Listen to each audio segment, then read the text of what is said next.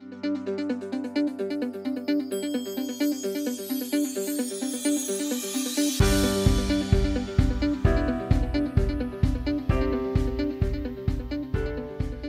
My name is Matt Webster. I'm the Director of Strategic Initiatives for CourseTalk. We are an online search and discovery engine um, for online courses. We have over 24,000 courses uh, representing 44 different platforms.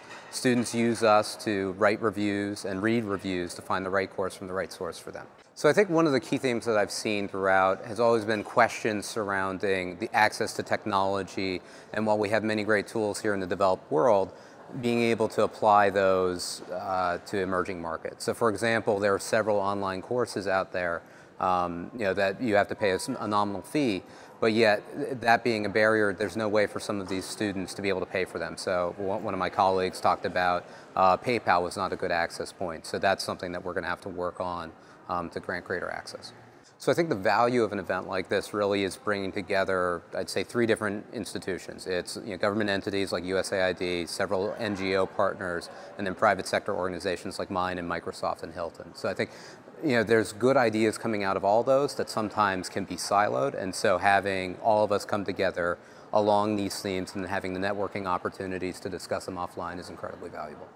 Uh, so I would say this morning's plenary session was very good about hearing some of the educational outcomes of students who uh, were able to invest or were supported to invest in their own online course education and be exposed to computer programming was one that was referenced and how that shaped that young woman's life into greater economic opportunities and workforce development opportunities.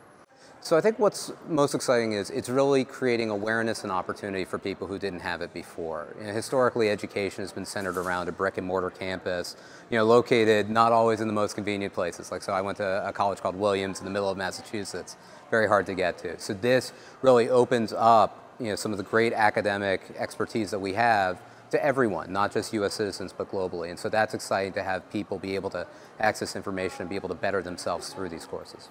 Yeah, so I think as we think about our outreach program, I think that you know a, main thrust, especially what I'm doing with the strategic partnerships, is trying to find organizations on the ground. And again, that's why a, a conference like this is very helpful to be able to connect with people who can uh, and you know create awareness around a tool like ours to be able to get students into the funnel so that they access CourseTalk, then they access edX, they get the right certificate, and then they're able to find a job. And so that's very exciting for workforce development.